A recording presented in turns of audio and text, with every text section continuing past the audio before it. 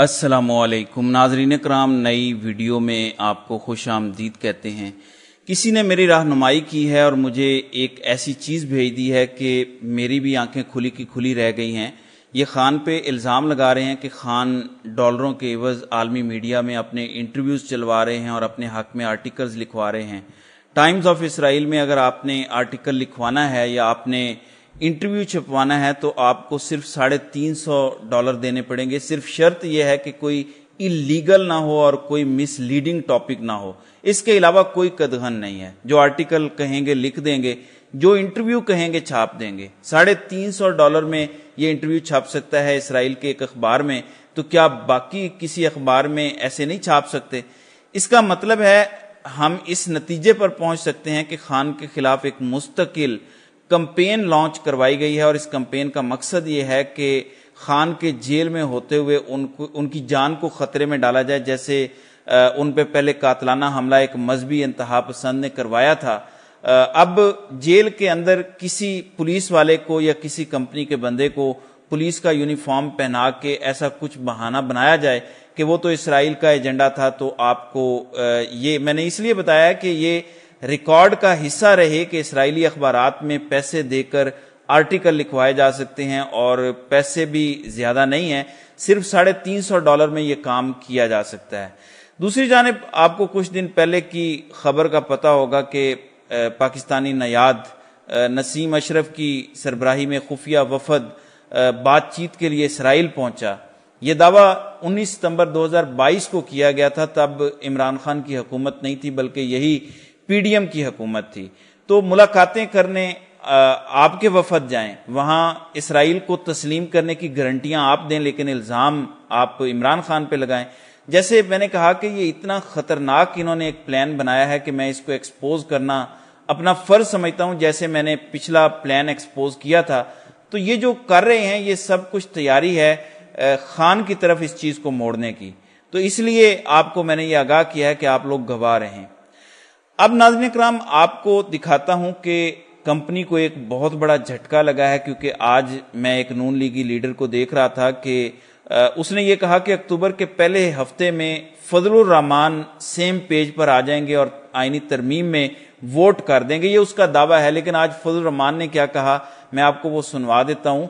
छोटा सा क्लिप है उसके बाद फिर आप अपना तजिया उस पर आ, मैं पेश करता हूँ।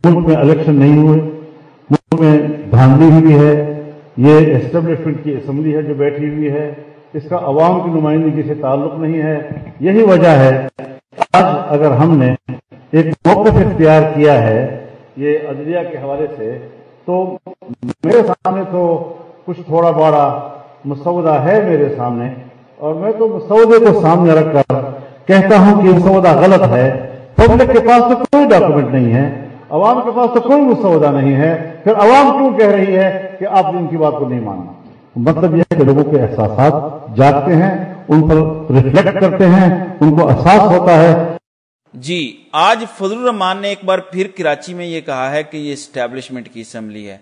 फजल रहमान ने कहा कि मैंने तो एक मौकफ लिया है अदलिया के हवाले से, लेकिन मैंने तो मुसवदा पढ़ के मौकफ लिया है। लेकिन जब हम अवाम में जाते हैं तो अवाम बस हमें कह रही है, हालाँकि उन्होंने मुसवदा भी नहीं पढ़ा और देखा कि आप इनका साथ ना दें। अवाम क्यों आपके खिलाफ है? इसका मतलब है कि फजल रहमान, क्योंकि फिर रहे हैं अभी पूरे मुल्क में उनको समझ आ गई है कि अवाम की साइड पे खड़ी है और ये मोमेंट सीज कर सकते हैं फजल रहमान अपनी सियासत को ज़िंदा करने के लिए। मैं ये नहीं कह रहा कि आइन के साथ खड़े हो जाएँ, जमहूरियत के साथ खड़े हो जाएँ। अपनी सियासत को ज़िंदा करने के लिए फजल रहमान खड़े हो जाएँ। ये मौका था नून लीग के पास भी और पीपल्स पार्टी के पास भी कि अपनी सियासत ज़िंदा कर लेते मैं आपको यकीन दिलाता हूँ कि जिस दिन इस मुल्क में फ्री एंड फेयर इलेक्शन हो गए, और इनशाला वो होंगे, ये इनकी मजबूरी बनेगी। पीपल्स पार्टी और नून लीग का सफाया हो जाएगा, ये काफ लीग भी नहीं रह जाएँगे। काफ लीग फिर भी दो सीटें कहीं से जीत जाती है, ये इसके काबिल भी नहीं रहेंगे। ये मैं आपको लिख कर देने को तैयार हूँ। पीपल्स पार्टी को लगता है कि सिंध उनका गढ़ है। आपको इनकी वहाँ जमानतें जब्त होती मिलेंगी। ये मैं आपको लिख के देने को तैयार हूँ। ये हालात बन चुके हैं। सोशल मीडिया ने सारा स्नैरियो चेंज कर दिया है और मेरे ख्याल में फजल रहमान को यह बात समझ आ गई है। एक बंदा जिसकी सोच ज़्यादा मज़हब की तरफ़ होनी चाहिए, अगर वो इस बात को समझ गया है तो मुझे ये समझ नहीं आ रही कि नवाज़ शरीफ और जरदारी क्यों नहीं समझ पा रहे। जिनके बच्चे हैं, अब तो सियासत में बिलावल सियासत में है, मरियम सियासत में है और वो दोनों सोशल मीडिया का इस्तेमाल करते हैं, देखते हैं, उनकी अपनी ट्वीट्स के नीचे अवाम का रद्द अमल आता है। उन्हें पता है कि क्या चल रहा है। उन्हें डायनेमिक्स भी पता है, वो क्यों पीछे रह गए, वो क्यों पब्लिक पल्स नहीं समझ पा रहे।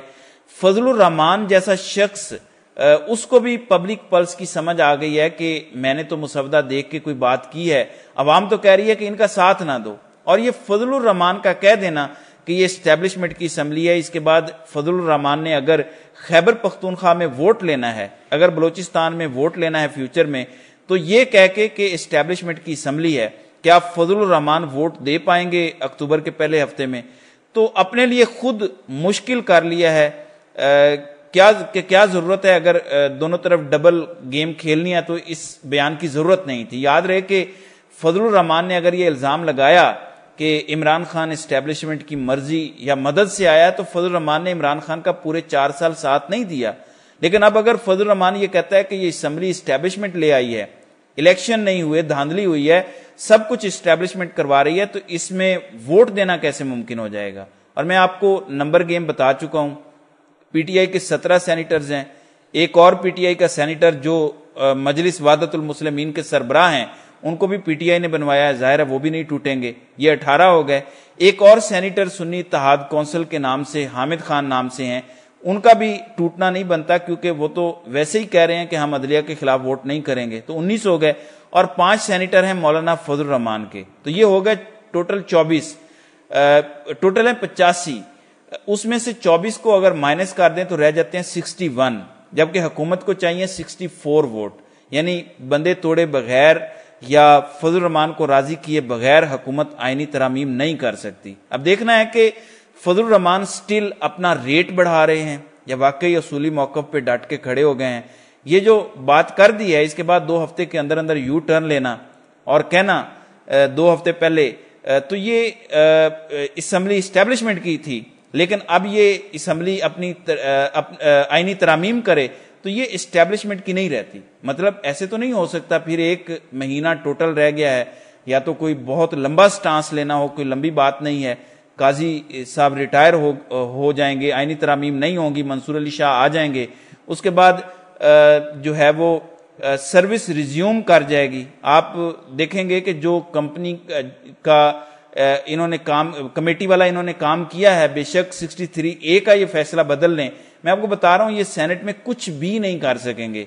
फजल रहमान के बंदे अगर कंट्रोल हो गए, फजल रहमान ने अपनी पार्टी पर कंट्रोल रखा और पीटीआई अपने सत्रह या उन्नीस सेनेटर्स को काबू करने में या खैबर पख्तूनख्वा में रखने में कामयाब हो गई, जो मर्ज़ी तरामीम कर लें, ये आईनी तरामीम नहीं कर सकते। यानी sixty one sixty three one का फैसला तब्दील कर दें, फिर भी ये कुछ नहीं कर सकते। सो इनके लिए मुश्किल हैं, कंपनी के लिए आगे मुश्किल बढ़ती जा रही हैं, इसीलिए कंपनी ने इनको धमकी दी हुई है कि पंद्रह अक्टूबर तक अगर तुम लोग तरमीम ना कर सके तो तुम्हारी छुट्टी। हुकूमत की छुट्टी, तुम्हारी गेम ओवर तुम जाओगे घर, फिर हम देखेंगे जो हमने करना है, वो हम करेंगे। इसलिए ये मामला पॉइंट ऑफ़ नो रिटर्न पे जा रहे हैं। मैं आपको अब एक और चीज़ बता दूँ पीपल्स पार्टी और नून लीग मुझे ये लगता है कि फजल रहमान से जो अब निगोशिएट कर रहे हैं, वो ये कह रहे हैं, और ये भी मेरा तजिया है, याद रखें मैं सारे डॉट्स कनेक्ट करके आपको तजिया दे रहा हूँ। ये फजल रहमान को अब ये कहने, कहकर मनाने की कोशिश कर रहे हैं कि देखें जो थोड़ी बहुत जमहूरियत हमारी वजह से है, हमें धमकी दी गई है कि अगर ये आईनी तरमीम ना हुई तो हम एमरजेंसी लगा देंगे। क्या आप चाहते हैं कि मुल्क से आइन रोल बैक कर दिया जाए, खत्म कर दिया जाए और एमरजेंसी लग जाए? तो प्लीज़ जमहूरियत बचाने में हमारा साथ दें और फजलुर रहमान को यह बयानिया दिया जा सकता है, जिसके बाद वो, बाद में तकरीर करेंगे कि हमने वोट जमहूरियत बचाने के लिए दे दिया है। हालात ऐसे थे कि सब कुछ काबू से बाहर हो जाता। एक ये बयानिया बनाने की कोशिश हो रही है और दूसरा बयानिया काजी साहब का है, उन्होंने जो अपने जजेस को साथ मिला के रखा है, वो ये कह के मिला के रखा है। और मैं ये नहीं कह रहा कि सारे अमीनुद्दीन खान की तरह आँखें बंद करके बस दस्तखत करने वाले हैं। इनके साथ जो भी पाँच सात जजेस हैं, उनको ये कहा गया है कि मैंने मार्शल को रोक रखा है, दूसरी तरफ़ लोग आपे से बाहर हुए हैं। अगर मैं ना रहा और मैं रिटायर हो गया या नई अदालत ना बनी और मैं सरबराह ना बना तो फिर मार्शल लग जाएगा। ये मैं इस सारी सिचुएशन में आपको तजिया दे रहा हूँ कि इसके अलावा मुझे कोई और वजह और कोई लॉजिकल रीजन नज़र नहीं आ रहा कि सुप्रीम कोर्ट के अंदर जबकि सिर्फ़ एक महीना रह गया काजी साहब के जाने में, एक भी जज क्यों काजी साहब के साथ खड़ा होगा? इवन अमीनुद्दीन खान क्यों खड़े होंगे? इसका क्या फ़ायदा है? मुझे नहीं मुझे लगता है कि इनके अलावा अमीनुद्दीन खान के अलावा या नईम अफ्तर अफगान के अलावा अगर कोई उनके साथ है तो ये बुनियादी वजह होगी और कोई वजह नहीं हो सकती। सो इस टाइम जमहूरियत का बहाना बना के बिल्कुल उसी तरह जैसे अमेरिका, इराक में जमहूरियत लाने के लिए आता है और सब कुछ तबाह करता है। पीडीएम की हुकूमत भी पाकिस्तान में जमहूरियत बचाने के नाम पर सब कुछ तबाह करने जा रही है। आइनी तरमीम का मतलब यह होगा कि आपने आइनी तौर पर अपनी रजामंदी के साथ अपनी पार्लियामेंट, अपना इलेक्शन, अपना सारा कंट्रोल आर्मी चीफ के अंडर कर दिया है। आर्मी चीफ भी वजारत दिफा के नीचे एक सरकारी अफसर नहीं रह जाएगा, बल्कि वो मालिक बन जाएगा आपकी असम्बली का, आपकी अदालतों का, आपके इलेक्शंस का। और उसके बाद एक ऐसा निज़ाम बन जाएगा कि फॉर्म सैंतालीस पे करवा लो इलेक्शन बल्कि मुझे खतरा है ये मेरा खदशा है, इनसे निज़ाम नहीं चल रहा और ये कह रहे हैं कि इमरान खान का बयानिया है। अवाम भी कहती है कि इलेक्शन में धांधली हुई है। तो ऐसे में सारी आईनी तरामीम करते हैं, काजी को इस अदालत में बिठाते हैं। आईनी सारे मामला वो देखेगा, उसके बाद नया इलेक्शन करवा लेते हैं और नए इलेक्शन में पीटीआई का सफाया करवा देते हैं। फॉर्म सैंतालीस पैंतालीस पहले से तैयार होंगे। इस बार गलती नहीं की जाएगी, इस बार ओरिजिनल फॉर्म पैंतालीस ही दुरुस्त बनवाए जाएँगे। एक एक बंदे को मैनेज किया जाएगा और इस तरीके से हज़ारों अफराद को मैनेज करके असल फॉर्म पैंतालीस जो है वो जल्द बनवा लिए जाएँगे।